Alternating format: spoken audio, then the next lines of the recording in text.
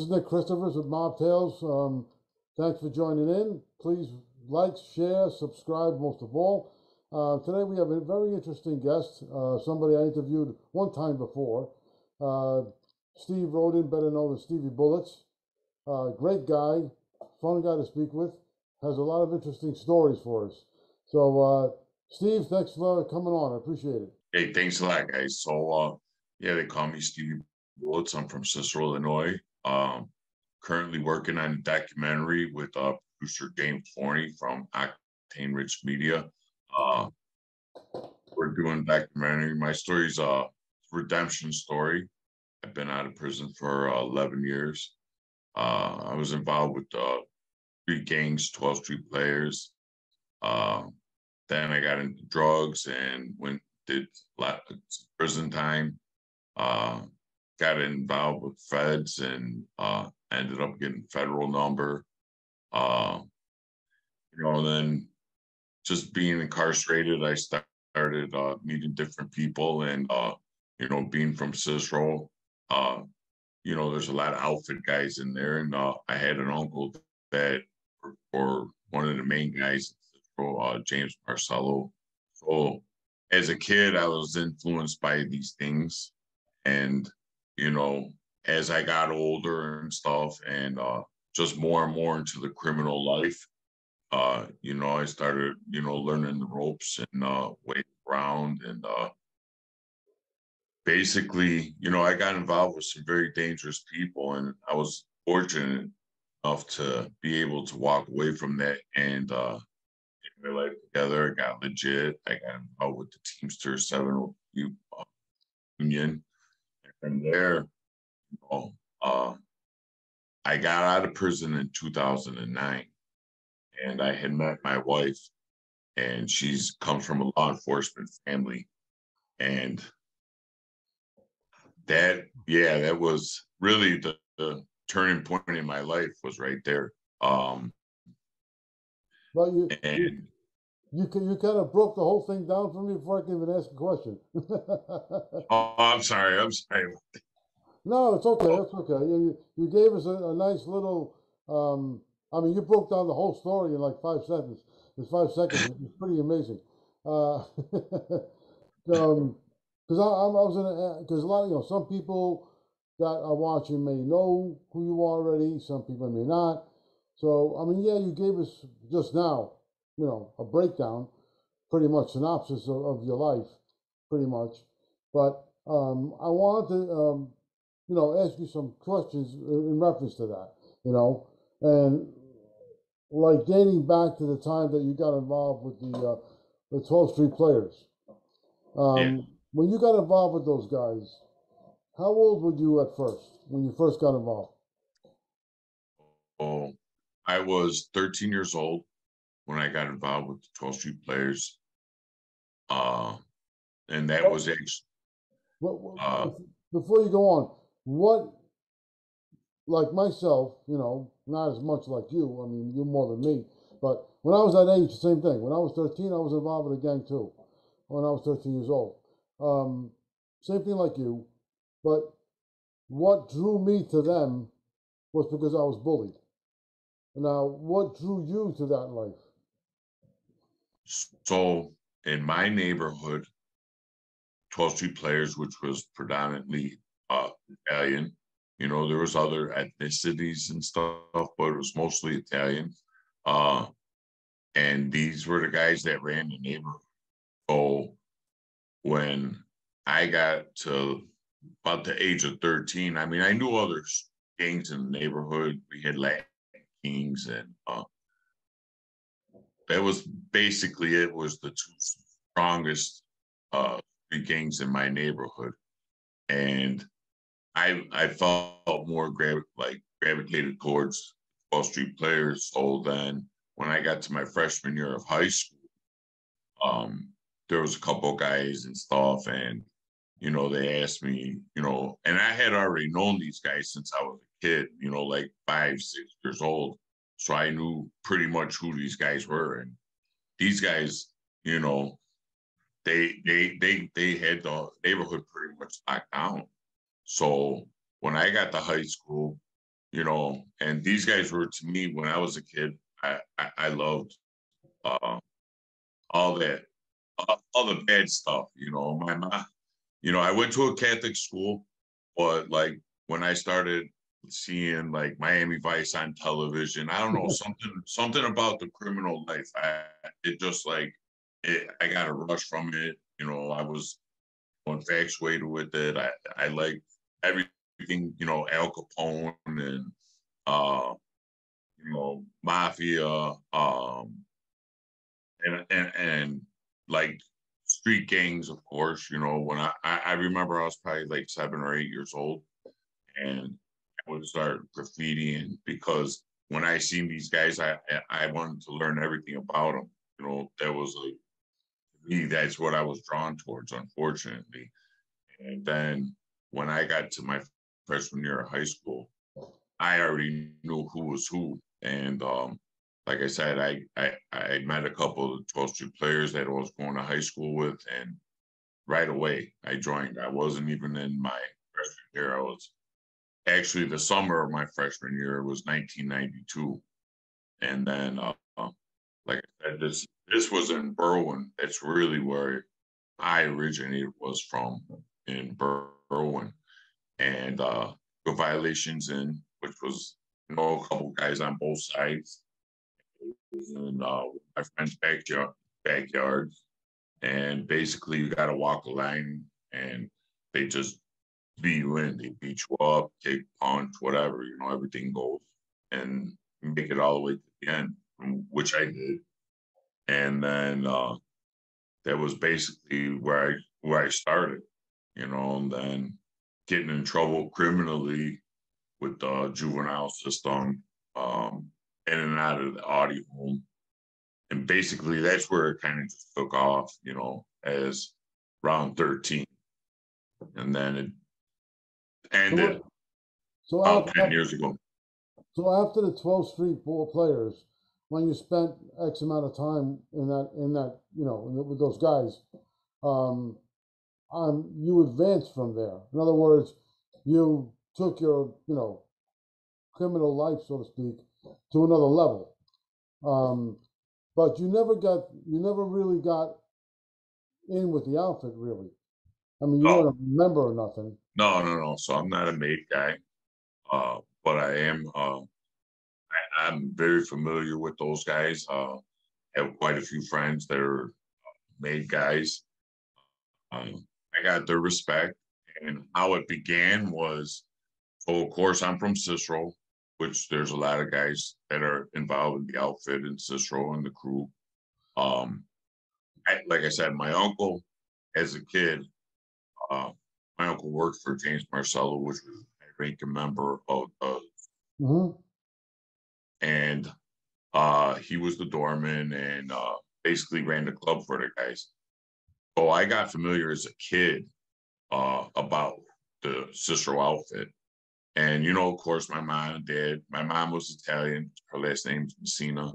Uh, she, she kind of, you know, she didn't condone that part of her ancestry. So she didn't like me to glorify, but of course I did. So when she had told me stories about, you know, um, like my grandfather, he was part of the 42, was the predecessor for uh, outfit. Uh, my grandfather and I learned this because, like, growing, growing up, I seen my grandmother had a lot of money, and you know, I just started noticing things. So I asked my mother, you know, how my grandmother had made, like, how she had all this money, and she basically told me that my grandfather is part of the syndicate, and you know, of course, the syndicate is the mafia here in Chicago. And that's when I first learned about it. And then I started Googling and doing some research, ancestry, and finding out more and more stuff about my grandfather, my great grandfather, actually. And uh, then my uncle, when I started doing my documentary, uh, my uncle filled me in on more stuff and he helped me with facts about uh, stuff that my grandfather was involved with, stuff that he was involved with. And uh, then, you know, going to prison and stuff, I started meeting different individuals. One of them was Harry Aleman, outfit, uh, Hitman. And I had previously been locked up with his grandson. So when we were incarcerated in Cook County Jail, which was probably about five or six years previous to me meeting Harry Aleman, uh, he had already told me that he had a grandfather. Of course, I didn't know. You know, I thought it was just a jailhouse story and stuff. Somebody told me. And then I ended up down in Galesburg uh, Correctional Center. This was around 2007. And when I got down there, you know, I had met Harry Aleman when I was going on a visitation with my wife. And he told me, you know, park. And I we I had heard that his name was Harry the Hitman. And then, like I said, he at this time he was old. He was really old. Uh, he was one of the guys that uh, was uh, charged with. It was a double jeopardy case. You know, he's tried twice for the same murder, and the first time it was uh, bribery to a judge or some something like that. But anyways, he was a outfit hitman. Uh, like I said, I had met him down in Galesburg prison, and uh, he ended up dying shortly after from uh, cancer. And then, uh, you know, just being in prison, uh, you meet you meet different people, leaders of gangs, stuff like that. And then, of course, I was involved with drugs, uh, selling and using a lot of drugs, and, and then started getting acquainted with like the Latino gangs and uh, gangs here in Chicago. So, seeing the way they operated, meeting those individuals uh, from different uh, gangs, uh, I started to utilize that as I got older, you know, benefit me in the streets. And uh, like I said, uh, I had, you know, really deeply involved with street gang shooting. I've been shot myself 11 times. Twice I was shot in the head. That's how I acquired the name Stevie Bullet. Uh, actually, a police officer gave me the name. Uh, yeah, yeah. This and see, I was involved with a lot of police too, you know, because at first I was public enemy number one because I, as a juvenile, um, I was always in and out of trouble. Started off with uh, stealing cars, and then it escalated to burglaries, uh, robbing houses. Then I started doing armed robberies. Uh, This is all, this is all under the 12th Street Boys when you're doing those or after? Yeah, yeah. And uh so the 12th Street players, you know, it's pretty much uh a lot of these guys, like I said, they're from their Italian ancestry, and uh, a lot of their their family members were members, high ranking, some of them. Um, and uh, you know, they had the same mentality. You know, it's not a secret. You know, I'm not disclosing like anything, you know, out to the public that's not known. And it's a big part of my documentary. So, like, when I started doing it, of course, a lot of my guys, they don't condone that type of stuff going public. But, you know, I had a lot of meetings, sitting down and discussions with these guys, and I got respect from them. And, uh, you know, we just came to like, uh, an understanding. You know, I respect everybody. I don't have no reason to uh, put anybody out there or invite any of these people and stuff like that. But you know, I wanted to do my uh, documentary, and uh, it actually worked out. You know, and I got a lot of support from the neighborhood. Well, these guys, like I said earlier, well, before I even get to that question, with the 12th Street players, did you guys need to kick up to the outfit to support to, to operate? Now that, no, not that, not to my knowledge. I, I mean, could have been maybe, well, just to be safe about it. So yeah, I mean, uh, yeah, they've been known to to do uh, business with the outfit. I could say that much without. Well, you guys were like an, a farm team, no? for the, they, Correct. they would come Yep. pick out guys if they wanted or whatever. Yeah, yeah. So what made you, what, what- what made you not, not so much not fit in, but what was it, did you, were you approached to possibly be involved or, or no? Yeah, so this, so like I said, you know, going uh in and out of prison and, you know, getting my name out in the streets. Uh, I got to know who was who and uh I I I had been doing business with some of these individuals. Some of them were police officers and um uh I ended up getting um that's how I ended up getting my first federal case uh was for perjury. Um it was a Cicero police sergeant and uh I had lied under oath, you know, to protect him because individuals that we were both uh friends with and you know I like I said I had uh committed perjury. And that's how I got my federal number. Um Well, Uh, the was, that was around what, 2000, 2005 or something like that? Yeah, yeah, 2000, 2004, 2005. And, uh, you know, like I said, uh, I had, it, like I said, in my neighborhood, everybody's familiar with each other. So we, it was pretty much just a favor that I was doing for another friend of mine. And it kind of backfired. Like I said, I ended up getting the perjury. The officer ended up and stuff. And uh yeah, it was just a real bad deal. Everything that happened. Well, it wasn't only that, it was um around 2000, July 13th, I was with a friend of mine, and there was so much animosity built up between me and the police, Cicero and the Berwyn police, that uh and ended up uh police officer shot and killed my friend shot him in the back of the head. There was no gun. Uh, you know, I felt like it was because of, you know, their animosity and hatred towards me that me and this police officer had, uh, we had like a personal beef.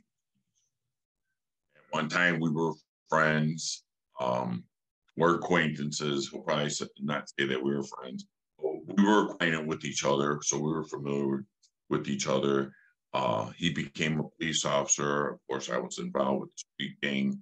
Uh, we had some differences between us, and then he approached us. What they are going to say is in the middle of a drug transaction, and we took off running, fleeing, and, and uh, as my friend was jumping over the fence, or shot him in the back of the head and killed him. Well, to my knowledge, there was no gun recovered, and uh, you know, it, it it just and it, it just started from there. So after that, it was pretty much back and forth with us and the police, and then, like I said, I had met my wife in 2006. So I had been in and out of the system.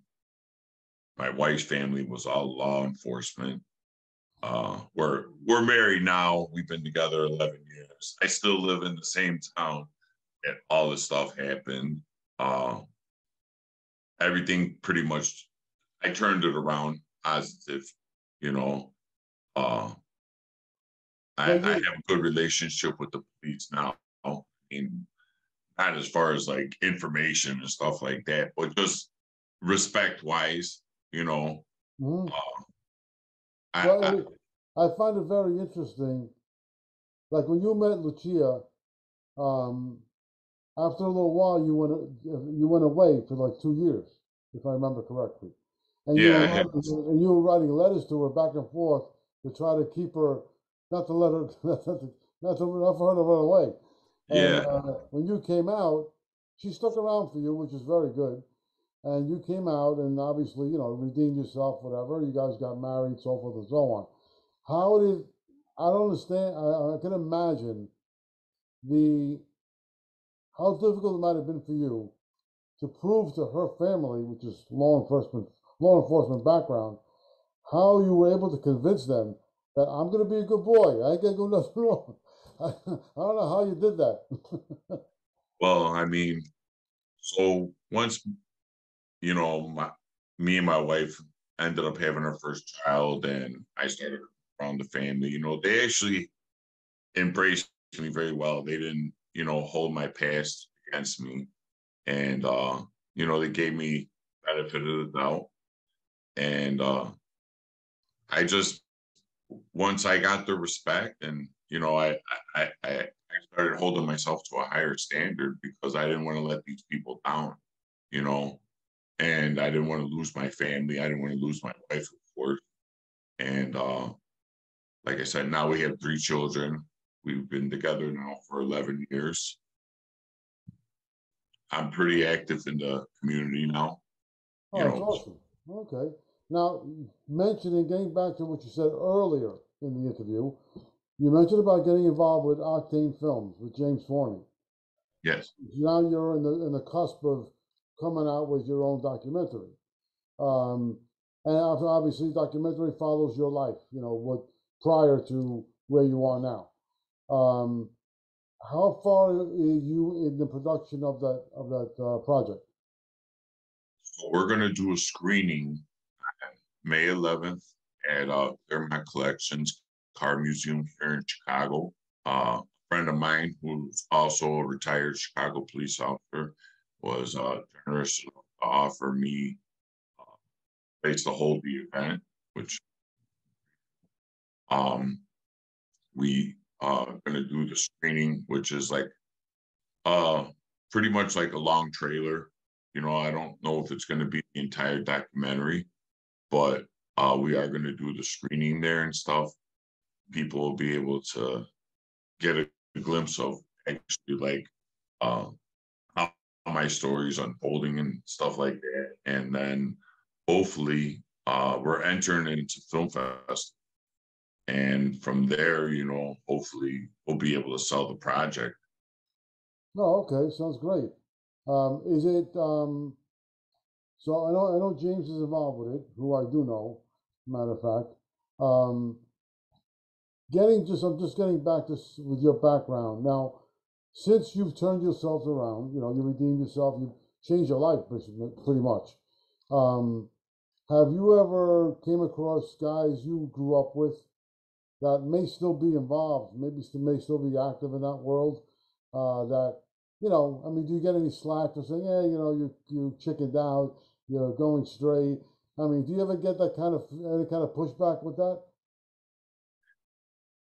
A little bit over the documentary that, that that's basically it, you know. I I do talk to a lot of guys that are still very active in the street, outfit guys, and uh, you know, they as long as I'm not talking about them, they don't have no problem with what I'm doing. A lot of them actually support it.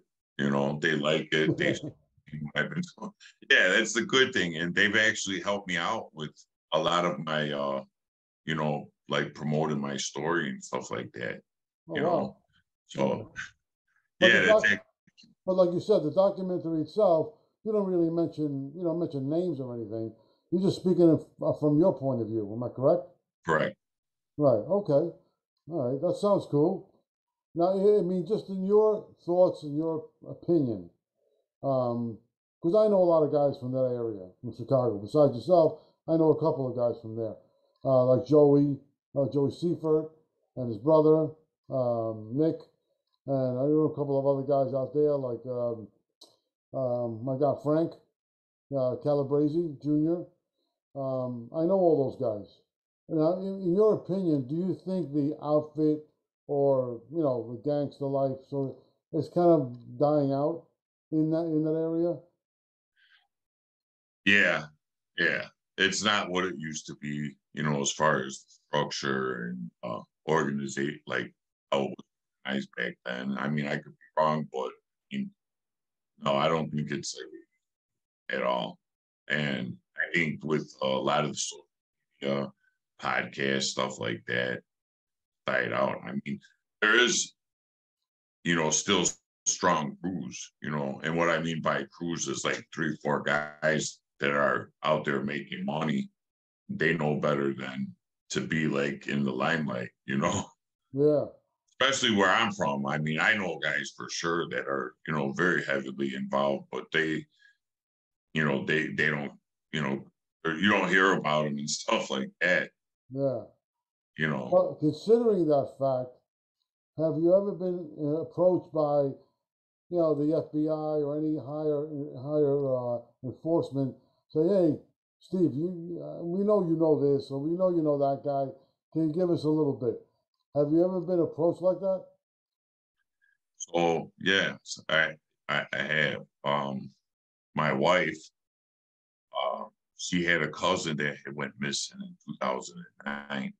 Uh, his name is Anthony Catalano, and whatever the circumstances of his disappearance was at the time that I had got out of prison, 2009. So I had already been previously, you know, uh, charged with uh, perjury. So the feds were already familiar with me.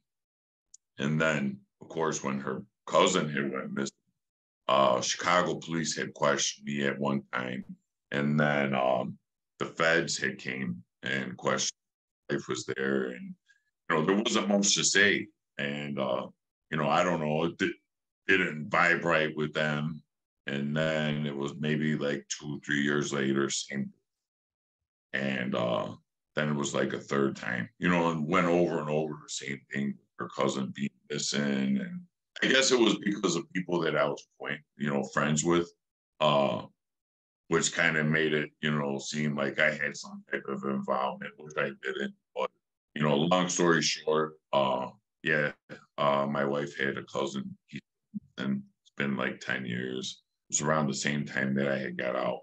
Um, I had already Oh. been in trouble with the feds, so yeah, So they they, Yeah. they were assuming that you had maybe something to do with it. yeah, absolutely. That's crazy. Yeah, yeah, no, no, that we already figured that out, you know. And my wife, like I said, uh, she she had, you know, went crazy on the feds.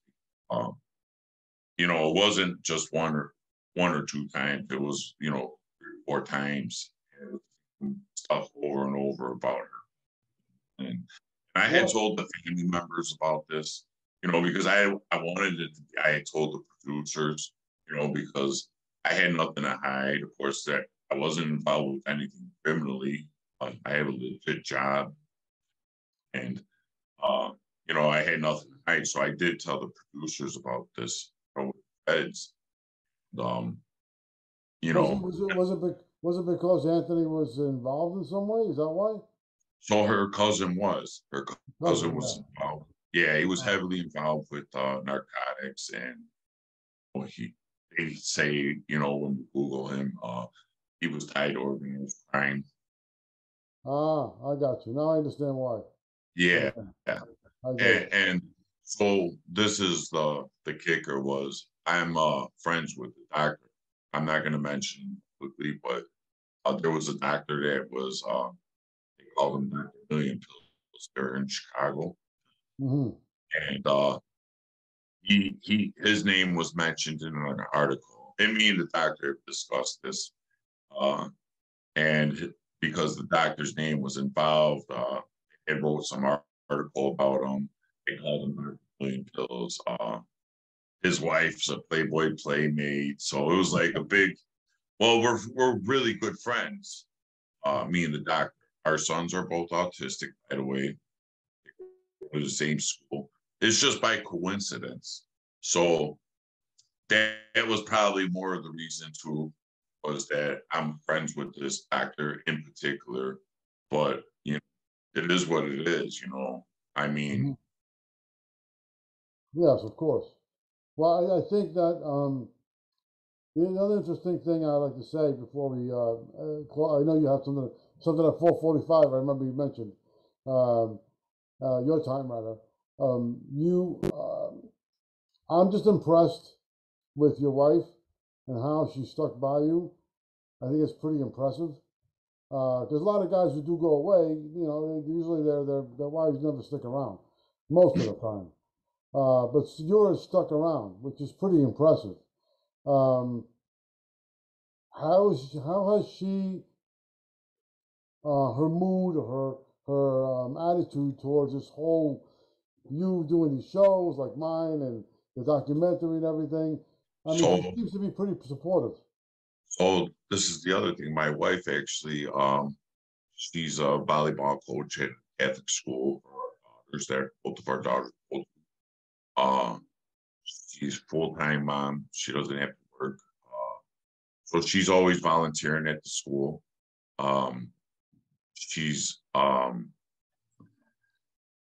best friends with the Cook County judge. That's good.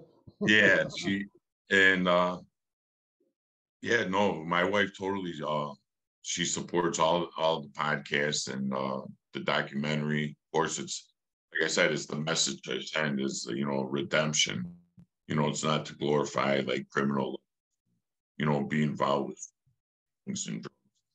It's just about i was so far deep in the streets that i was lucky enough to turn around you know and uh and not become a statistic. And now I'm, you know, a legit Teamster 703.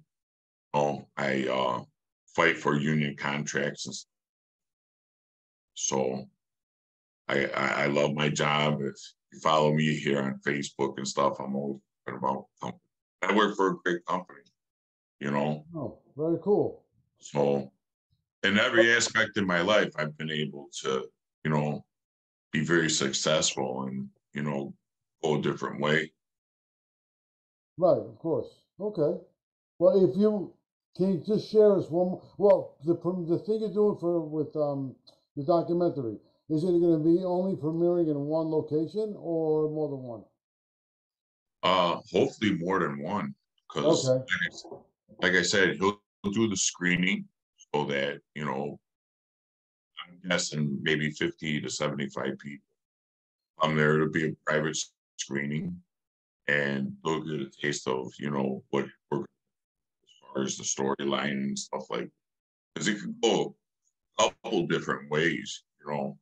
Uh, right now it's just doc, a short doc, thirty to forty minutes. That's on. That's tell? That's on May 11th. Am I correct? Yeah, May eleventh. And where would it be again? Yeah, uh, Claremont Collections. I'm sorry. What's where, where would it be at? Uh, Claremont Collections. Paramount Collection. Where is that? In Cicero? Uh, that's in Chicago. Oh, so the main city. Okay, Yeah, gotcha. it's a car museum. Yeah, it's uh, two warehouses full of cars, beautiful cars. Probably some of the most exotic cars you've ever seen. Oh, very cool. And I got a good friend of mine that's going to be uh, bringing his car. Got a '57 Chevy. Uh, Dick Messino. He's you know edible guy, race car legend. You know he's got his own story. Uh, Dick had a life sentence at one time. Uh, he's a Chicago cop, and uh, did 12 years. He got out of prison at 12 on uh, and uh, we're really uh, good friends with the same attorney, Joe Lopez. We do podcasts with him all the time. Joe Lopez, they call him Shark here in Chicago. So Oh, nice. he, yeah, yeah, he does a lot of podcasts with me and stuff like that. We're really good friends. He'll be at my screening with me and stuff. Uh, and Joe's got a hell of a story. You know, Joe represented all the high ranking members of Chicago outfit, you know.